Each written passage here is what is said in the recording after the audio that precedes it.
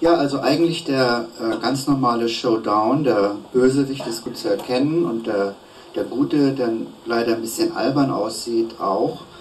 Äh, merkwürdigerweise gewinnt der Gute, obwohl er von der Anlage der Szene her gar keine Chance hat. Und das aber ja ein, ein guter Film ist, ein ernsthafter Film ist, kann das so nicht sein. Und was wir also nicht gesehen haben, was erst zum Ende des Films erklärt wird und dann nochmal in der Rückblende gezeigt wird, Liberty Valance ist nicht von James Stewart erschossen worden, sondern aus einer Seitenstraße hat ihn John Wayne erschossen.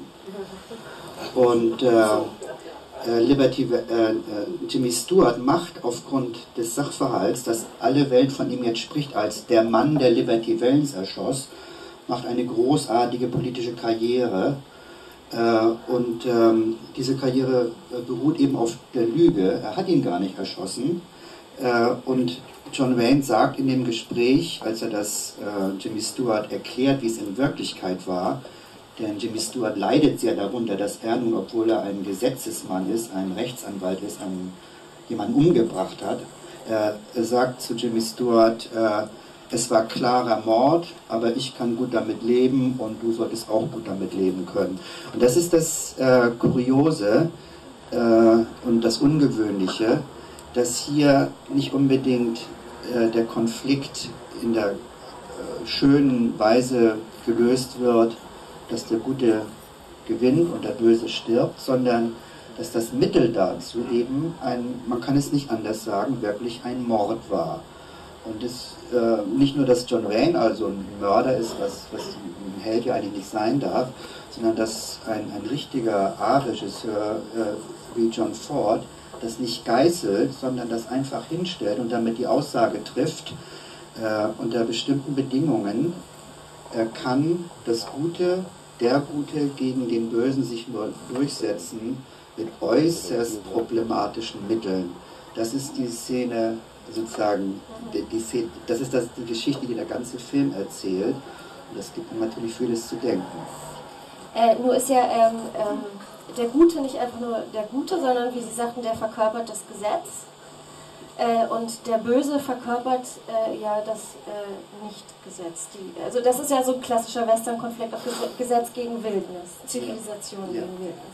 Und welche Rolle äh, spielt dann dann ähm, äh, John Wayne? Ja, der Bösewicht heißt ja Liberty Valance. Das ist äh, nicht ironisch gemeint, sondern er ist die Verkörperung der Freiheit. Also das ist schon ganz klar. Und der Trick bei dem Film, also einer meiner, wirklich meiner Lieblingswestern, ähm, der Witz bei dem Film ist, dass die Freiheit in zweierlei Form auftritt. Nämlich in der Gestalt des Bösen, Liberty Wells, und in der Gestalt des guten John Wayne. Das sind eigentlich Brüder im Geiste. Beide stehen für das freie Land, äh, für die Wildnis äh, äh, und sie sind beide gegen die Zivilisation, gegen den Garten sozusagen. Ähm, die beiden sind sich, äh, Wayne und, und äh, Lee Marvin sind sich näher als äh, Wayne und äh, Jimmy Stewart. Die sind ein bisschen so. Oder so.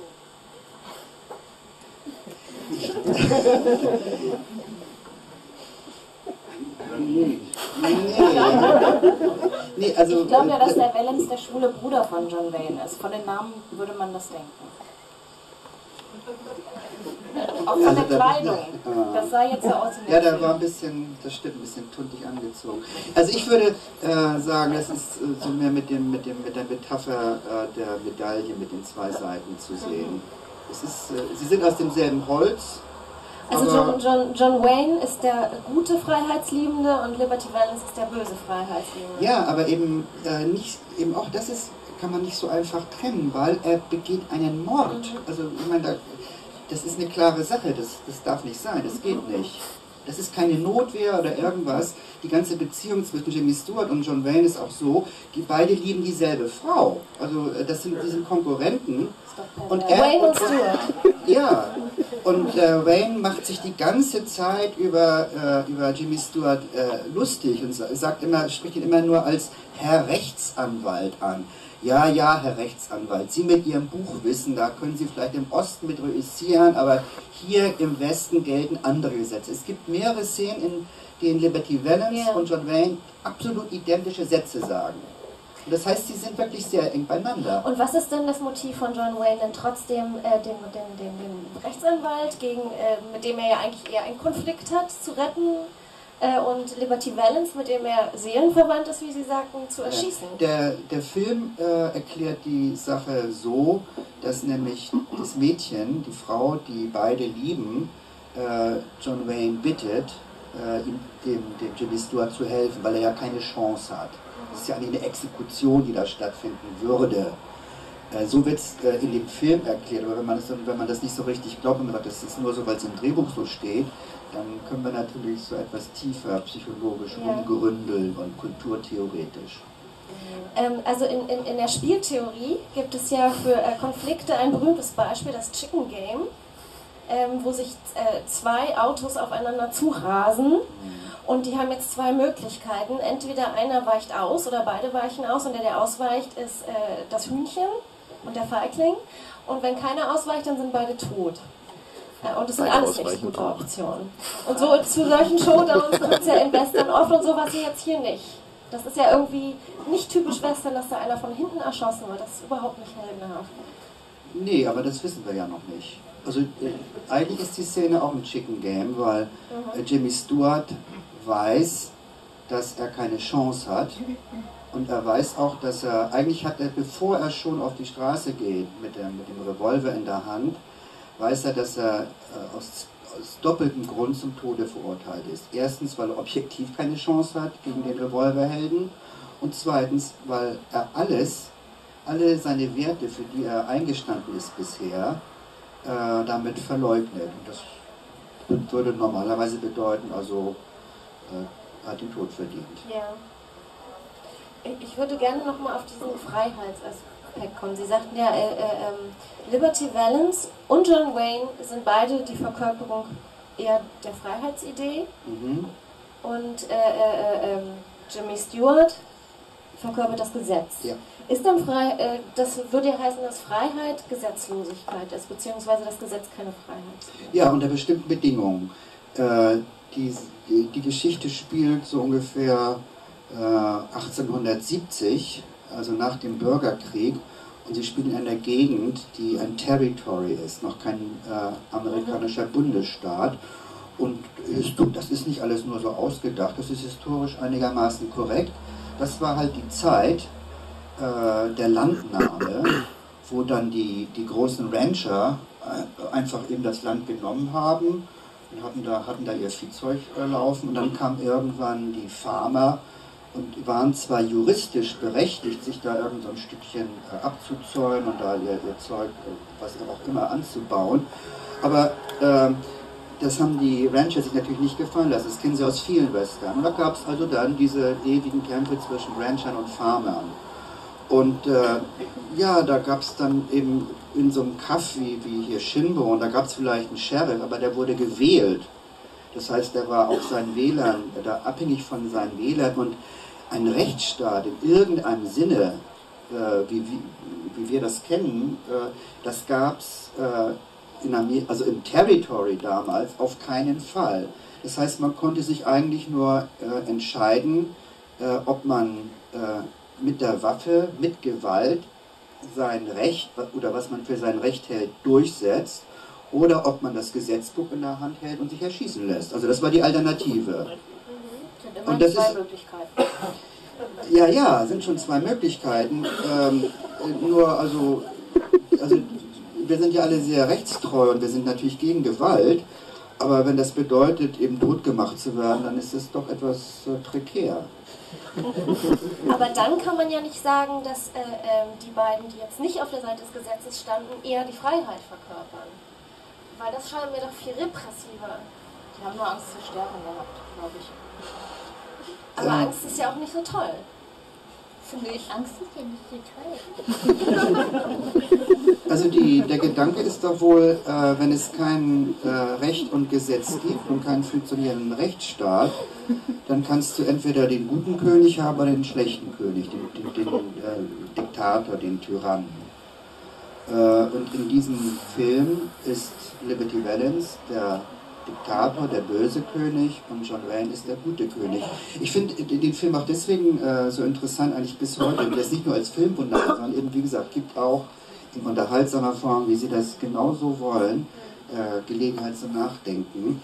Äh, in der Figur des John Wayne sieht sich eigentlich nach, meinem, äh, nach meiner Wahrnehmung Amerika bis heute die Vereinigten Staaten. Also nicht nur, dass äh, John Wayne ja bis heute so ein ein, ein Superbild des amerikanischen Selbstbewusstseins ist, sondern eben auch, ich bin sicher, dass selbst so eine, so eine Maus wie äh, George Bush äh, Phantasmen hat, die in solche Rolle gehen. Unter bestimmten. Bitte? Poster hat er sicher zu Hause. Unter, unter bestimmten Bedingungen, also das, das können Sie ja bis in die, in die, in die Zeitungen nachlesen, also dieser von dem Robert Kagan, dieser, dieser Aufsatz, äh, die Europäer kommen von der Venus, die Amerikaner vom Mars. Das sieht man ja alles. Und äh, es ist auch tatsächlich so, dass John Wayne, obwohl, auch wenn wir wissen, dass er ein Mörder ist, äh, ist er uns sympathisch. Er muss übrigens, und das ist auch ein Zeichen, dass, der Film wirklich ziemlich äh, intelligent gemacht ist, er muss dafür büßen. Also erstens verliert er die Frau, äh, die geht äh, zu, zu, Jimmy Stewart, der kriegt also die Frau, macht seine Karriere. Deswegen? Ja. Weil er den umgebracht hat. Ja, na.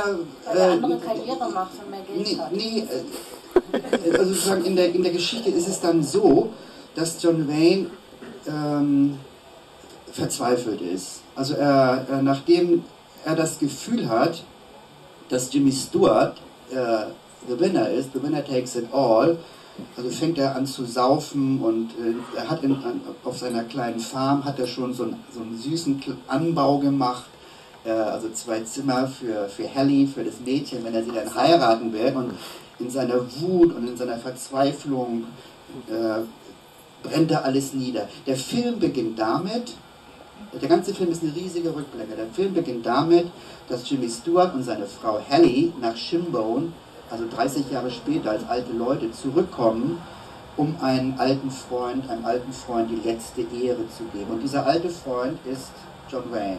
Der ist also gestorben und äh, wir sehen ihn zwar nicht mehr, aber wenn der Sarg geöffnet wird, erfahren wir, er hat keine Stiefel mehr, er hat keine äh, Pistole mehr und wir erfahren dann also, dass er, nachdem er Liberty Valance erschossen hat, die Frau verloren hat, so eine Art Bam geworden ist, ein Hobo. Also er ist runtergekommen, hat nur noch gesoffen äh, und ist dann also äh, verkommen. Er musste, äh, das, wird, das Tolle ist, das wird nicht heroisiert, dass er in gewisser Weise sich geopfert hat.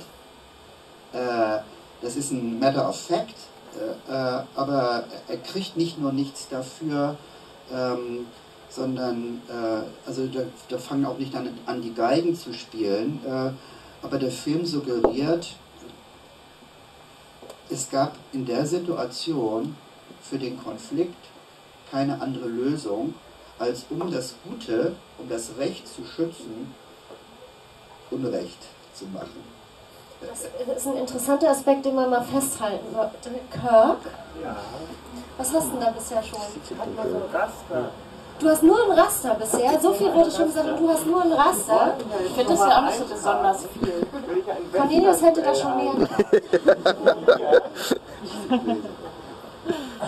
Cornelius schreibt auch Leserlicher. Das ist wahr. Cornelius benutzt das Mikro auch. Ja. ja. Ich habe jetzt hier mal. Cornelius hat auch mehr Licht. Ein Western-Duell.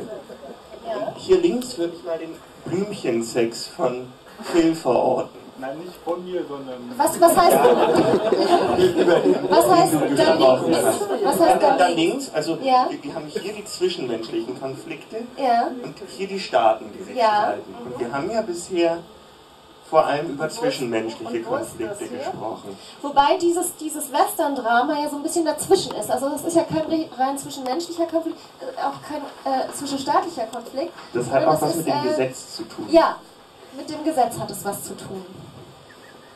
Wo kippt denn das Gesetz bei dir hin? Gesetz und Gewalt. Im Gesetz ist es nämlich so, dass das Gewalt oder auch die Gewalt monopolisiert ist. Staat. Jetzt kannst du nicht sprechen oder was? Äh, selber besser. Brauchst du ein Megafon, Mao. Und jetzt mal Ruhe. Wenn der Kuchen Das- spricht, haben die Krümel. Das ist der innere Konflikt. Ich würde sagen, der innere Konflikt grundiert hier unten alles. Ich finde, also einen inneren Konflikt hat man ja fast immer dabei. Corinna, kennst du den Film? Nee. Hast du einen Lieblings... Kennst du Western-Filme? Ja? Einen. Welchen?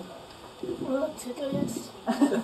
Spiel mir das Lied vom Tod. Wer hat denn gewonnen? Dann wissen wir. Ich finde, wir sehen uns jetzt mal den nächsten Filmausschnitt an. Red River.